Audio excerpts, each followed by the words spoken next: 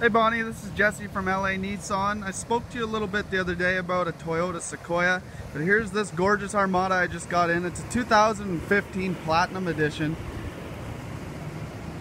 You're gonna see you have all of your sensors, your park aid sensors here. You have them on the back as well with the accented chrome trim.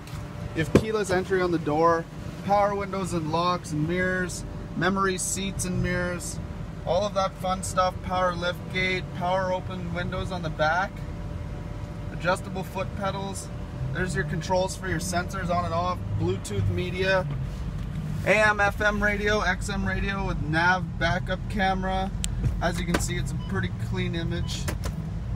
Four-wheel drive, you have the option for heated seats, heated steering wheel, very low miles, as I told you earlier, 43,000 kilometers.